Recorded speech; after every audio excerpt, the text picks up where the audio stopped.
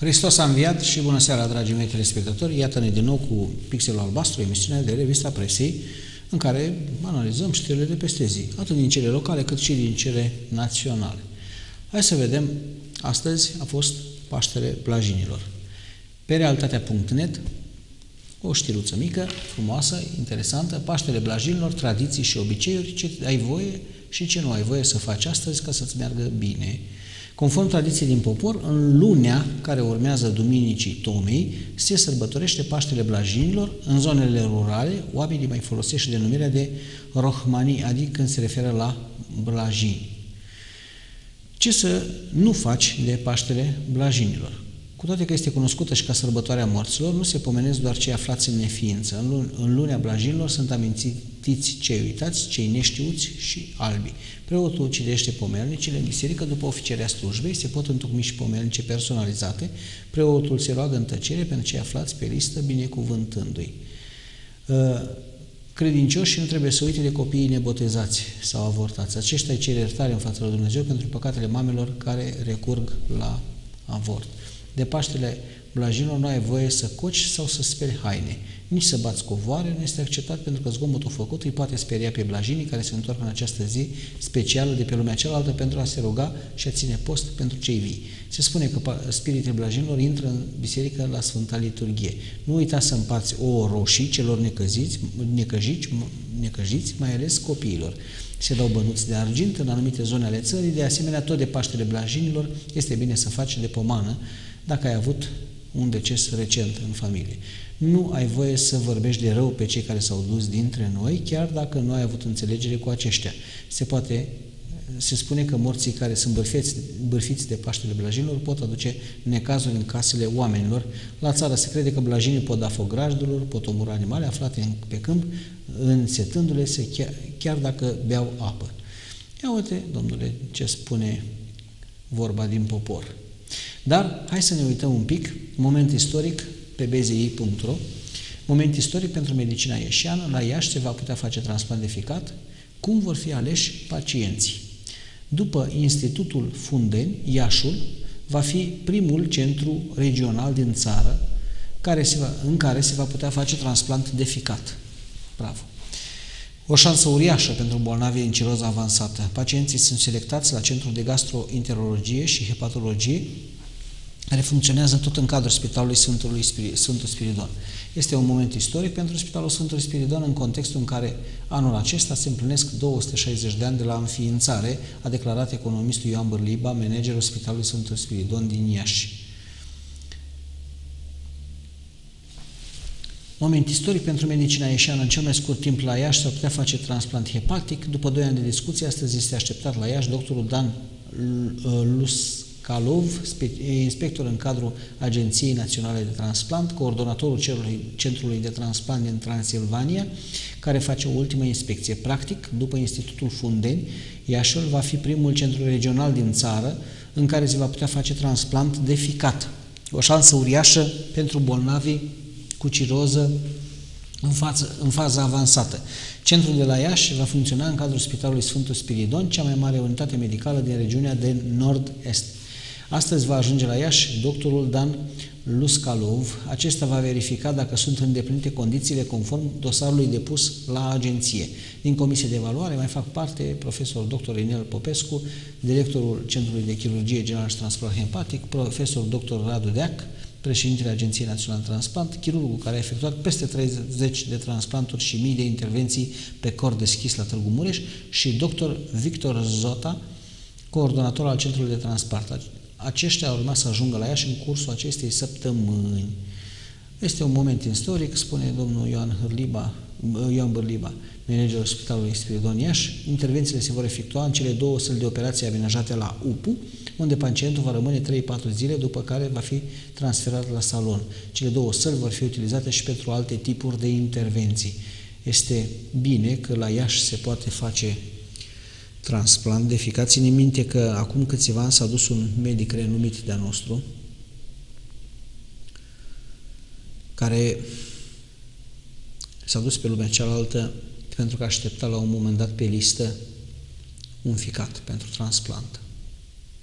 Poate, dacă mai trăia până astăzi, era mai ajutorat. Dar Dumnezeu este Cel care socotește uh, zilele omului și îl ia pe fiecare atunci când e cel mai pregătit pentru mântuire.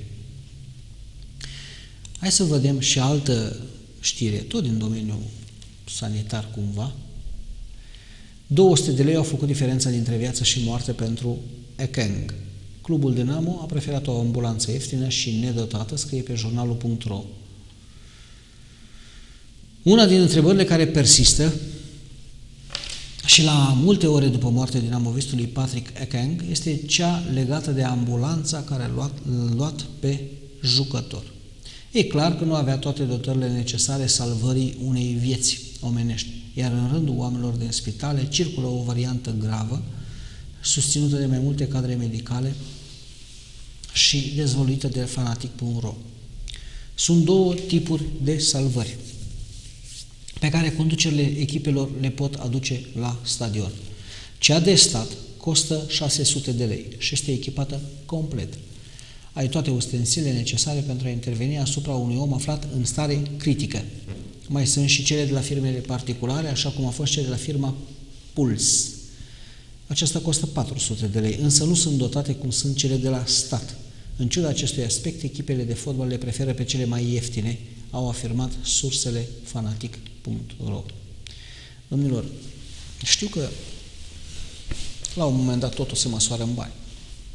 Cât costă una, cât costă cealaltă, pentru profit. În momentul în care o firmă, cum, sau, cum e Dinamo, o echipă, faci diferența între uh, venituri, cheltuieli, cauți să reduci cheltuielile pentru ca să ieși pe profit. Dar nu cred, nu cred că la un moment dat poți pune în pericol viața unui om folosindu-te de ceva neconform. Pentru că aici nu e vorba de preț de 600 și de 400. Aici este vorba de dotarea unei ambulanțe. În momentul în care ambulanța de 200 de lei nu are, nu are dotările necesare pentru a salva viața unui om aflat cumva într-un stare de suferință acolo, păi dar nu-ți îndeplinești măsurile necesare. Este ca și cum deci, acest serviciu pe care îl plătești, îl, plă, îl plătești pentru siguranță. Nu îl plătești uh, ca și cum ai cumpăra mingi. Da? Uh, cumperi o minge mai ieftină sau o minge mai scumpă, sau cumperi un tricou mai ieftin sau cumperi un tricou mai scump, sau, uh, eu știu, mergi cu un autobuz mai ieftin decât cu un autocar nu știu ce scump. Deci în condiții de siguranță toate sunt în plin. Toate calculele cad. Pentru că e vorba de siguranță. Este ca și cum, eu știu, pe un șantier ar lucra oameni, da? Nu e vorba acum de tipul salopetei la un moment dat, ci pur și simplu de protecția pe care o oferă. Casca de protecție, mănușile de protecție, echipamentul de protecție și aia este neapărat necesar să fie conform standardelor în vigoare. Adică, nu e vorba, au dat 400 de lei pe ambulanță. Ambulanța aia a putea să facă ceea ce este necesar pentru a salva un om aflat în accident, suferință. Uite cum s-a întâmplat cu Patrick Ekeng. Păi dacă nu putea, de ce ai făcut contract? Doar așa să ai la număr? Uh, nu pot să-mi închipui manageri de, uite cum sunt ăștia la Dinamo acum, eu știu, nu știu. Ce s-a întâmplat acolo? Cei care semnează când e vorba de dat bani.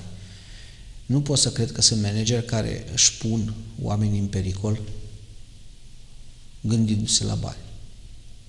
Sunt mulți care spuneau la un moment, băi, producția, con, producția, producția să facă. Nu-mi închipui că este aceeași mentalitate, banul să iasă, producția să iasă. Nu poți să faci o producție peste cadavre. Nu poți să faci o producție, indiferent ce firmă ești, indiferent că ești privat, mai ales când ești privat. Adică cei de la stat, într-adevăr, sunt, bă, e banul public, trebuie să ai uh, la achiziție, la contracte, trebuie să ai cinci oferte de preț, cea mai mică ofertă de preț, eu știu ce alte condiții legislative, dar în condiții private patronul și conducerea respectivă analizează costurile în funcție de servicii. Deci, nu pot să cred că la un moment dat 200 de lei au făcut diferența între viață și moarte. Sau nici nu s-au gândit că se poate întâmpla așa ceva. Eu au spus, ai, oricum e o ambulanță, dacă ești a rupt la unul piciorul pe teren, dar uite că nu i s-a rupt doar piciorul. Și au mai fost cazuri. Când în fotbalul nostru românesc, au mai fost cazuri de așa ceva. La 20 ceva de ani a căzut secerat pe, în, nou, în anii 90 la antrenament. Altul a căzut uh, la meci. Altul uh, sunt, la un moment dat le prezentau pe buletine de știri. 5-6 cazuri au mai fost de astea în, în țară, când s-au întâmplat. Nu trebuie să fie meci de fotbal, nu de fotbal, de box să se întâmple ceva. Poate să se întâmple și la un meci de fotbal, la supra-solicitări, la efort susținut. Sunt unii oameni care, da, la analizele medicale le iese bine. Și uite, emoții, uh, efort susținut, uh, se întâmplă. Cedează ceva un vas de sânge, inima. În general toate sunt pe, pe sistem circulator și normal, pentru că este vorba de efort. De ce să nu fie pentru 200 de lei ar fi putut salva viața unui om dacă era dotată? Și dacă și medicul ăla era exact la timp, nu trebuia să stea 3 minute până vine, în 3 minute se pot întâmpla multe. Poți să salvezi sau poți să nu salvezi.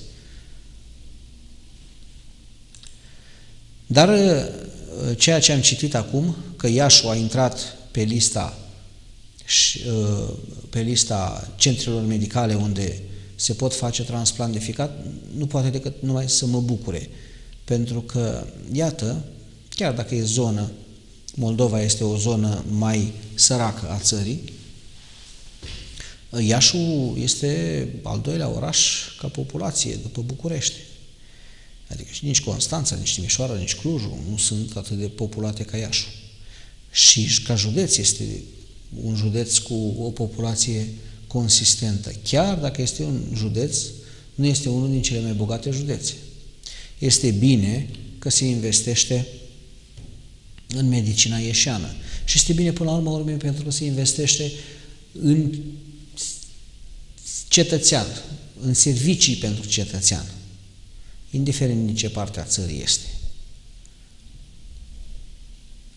Trebuie să ne gândim, să ne apropiem la un moment dat în politicile noastre uh, administrative de condus această țară, trebuie să ne apropiem de gândul că trebuie să facem pentru cetățean, indiferent din ce zona a țării este, să aibă acces la educație, să aibă acces la cele mai înalte standarde de sănătate, să aibă acces la tot ceea ce poate să-i ofere calitate vieții. Și citeam uh, o carte de curând, o citesc în continuare, că mai am câteva pagini din ea, uh, de Dumitru Constantin Dulcan, un uh, neurolog și un psiholog de renume, spunea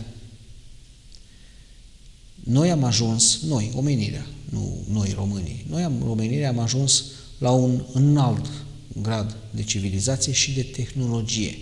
Am putea, dacă am lucrat judicios și ne-am folosit resursele în mod judicios, să oferim oamenilor de pe această planetă un drept foarte important dreptul la demnitate. Adică atunci când într-o țară de pe glob un cetățean cheltuie pentru mâncare, pentru orice, sute de dolari pe zi și în altă parte de pe glob se moare de foame, nu este echitate și nu este respectată demnitatea umană. Ar trebui, pe lângă legile alea, spunea profesorul, Uh, pe lângă legile, drepturile omului, să fie încă un drept, cumva, în la, dreptul la libertate, dreptul la liberă exprimare, dreptul la demnitate umană. Și atunci, în funcție de acest drept, vor fi și nivelul salariale mai frumoase, vor fi și uh, educ- uh, legi pentru educație bune, vor fi și condiții de sănătate și de îngrijire a sănătății bune. Pentru că se va respecta un drept la demnitate umană. Mi-a plăcut cum ceea ce am citit în cartea domnului neurochirurg și neurolog. Da, e bine, e bine că se investește și e bine că se face pentru om. Managerul Spitalului Sfântul Spiridon din Iași are de ce se bucura.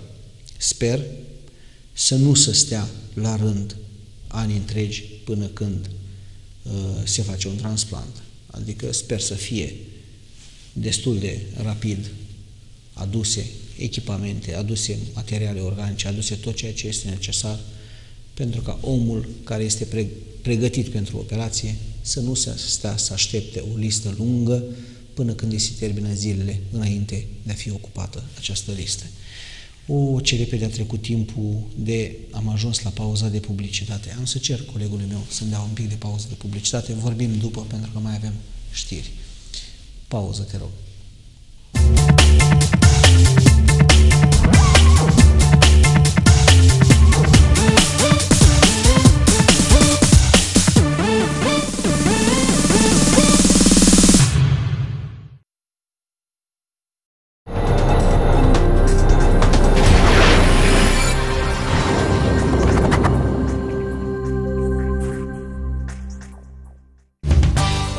fericit înseamnă liniște. Cu tâmplăria pe WC Tomplast ești ferit de orice disconfort, praf, zgomot sau frig. Sună acum la 0722 661 și ai 25% reducere. Transportul, montajul, sticla 4S și plasa pentru insecte sunt gratuite. Tomplast pentru un cămin fericit.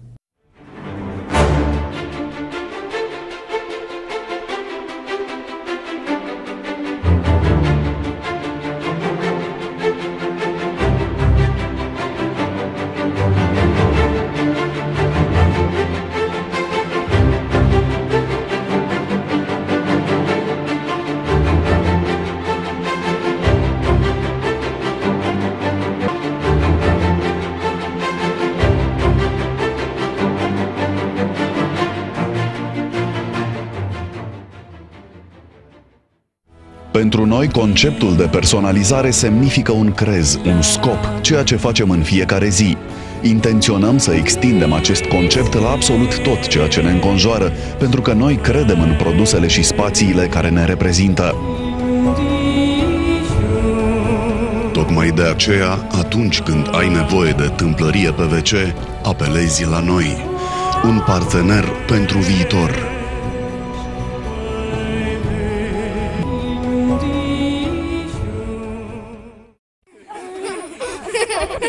Zâmbetul copilului tău este prețios, iar fericirea lui este mai presus de orice. Vino la magazinul Ioana în spatele poștei din Dal pentru fericirea celui mic. Jucării, articole de îmbrăcăminte și încălțăminte pentru toate categoriile de vârstă. În plus, la etaj vă așteptăm cu o gamă variată de cărucioare premergătoare, pătuțuri, triciclete, jucării de pluș și articole party. Am păstrat aceleași prețuri mici la scutecele Pampers și Happy, iar pentru botezul bebelușului tău găsești hăinuțe la prețuri pentru toate buzunarele. Ioana, supermarketul copiilor te așteaptă cu oferta săptămânii. Role reglabile pentru copii, diverse culori și mărimi la numai 99 de lei și 90 de bani. Ioana, mereu cu gândul la copilul tău.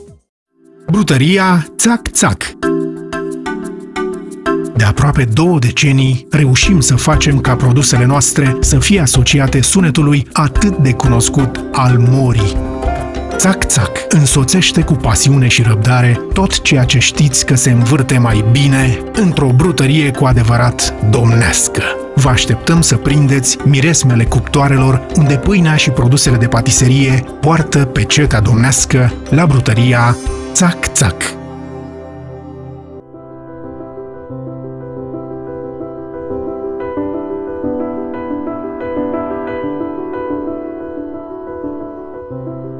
Apa Vital. Grijă de apă, grijă de oraș. Pentru o viață sănătoasă, faceți mișcare cel puțin 30 de minute în fiecare zi.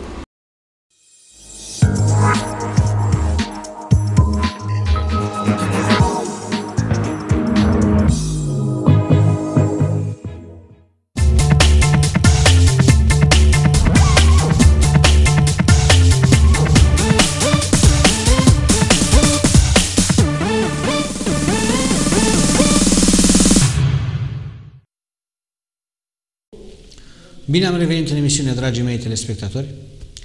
Să nu uităm, 10 mai, ziua regalității. Să fim patrioți, familia regală va fi mereu alături de români, scrie pe realitatea.net. Și este o clipă de istorie pe care aș vrea să o citesc. 10 mai, ziua regalității, principesa Margareta Custo de Coroanei a transmis un mesaj cu ocazia celebrării celor 150 de ani de când principele Carol I a depus jurământul de credință față de România. Și i-aș da citire exact uh, ceea ce a spus custodele coroanei. 10 mai, ziua regalității, sărbătorim împreună 150 de ani de când principele Carol I a depus jurământul de credință față de țară. În același an, suveranul promulga Constituția care definea țara noastră drept un singur stat indivizibil, cum de, sub denumirea de România au fost cei mai grei și cei mai binecuvântați ani din istoria noastră. Niciodată nu am avut mai multe sacrificii și suferințe, dar niciodată nu am avut parte de mai multă dezvoltare și libertate. În acest secol și jumătate, coroana a dat românilor încredere și mândrie, exemplu și însuflețire, arătând mereu drumul înainte. Influența ei benefică asupra societății s-a adăugat de la o generație la alta, spune principesa Margareta în, principi, în mesajul publicat pe rețelele de socializare. Regii și reginele au contribuit la crearea României moderne, la construcția societății civile, politicii, economiei, educației și culturii noastre. Ei au servit intereselor națiunii cu loialitate, iubire și credință. Coroana este o parte a identității naționale, iar regele nostru și țara se găsesc astăzi uniți prin încredere și respect, adaugă custodele coroanei. 10 mai ziua regalității, în final, principesa Margareta spune că cel mai bun fel de ne arăta iubirea față de majestatea sa, regele Mihai, este să fim patrioți, să dovedim conștiință civică și să ne respectăm unii pe alții. Familia regală va fi mereu alături de români și va continua să facă ceea ce a făcut întotdeauna, să pună umărul la construirea unei Românii demne, stabile și prospere, așa să ne ajute Dumnezeu cu închide custodele coroanei. Pe 10 mai, cea mai importantă sărbătoare a monarhiei românești, Casa Maestății sale organizează o serie de evenimente la Castelul Peleș din Sinaia.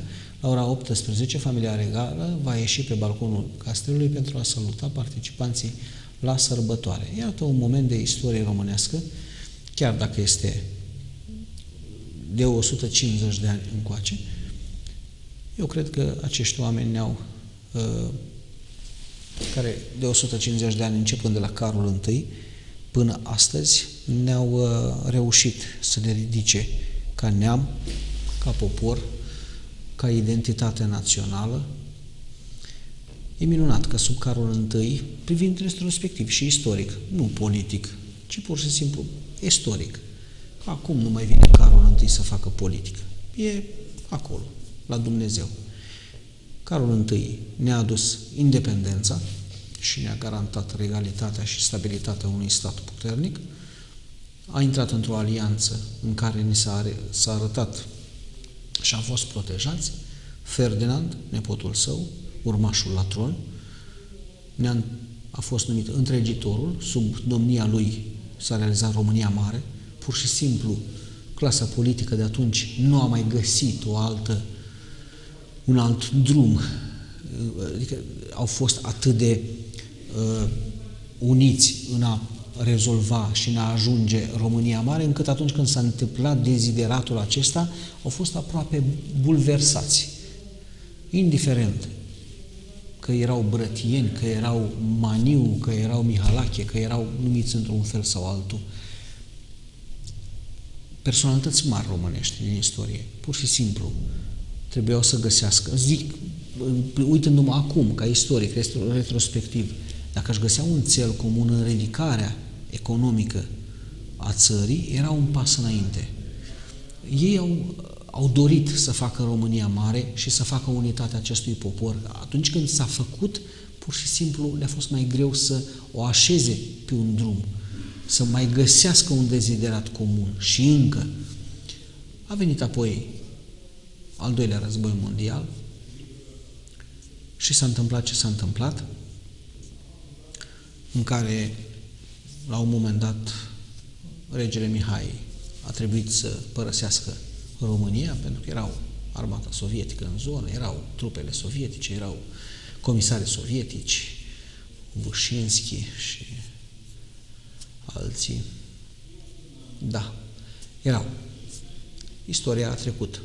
Acum e bine că avem acest respect și este această zonă.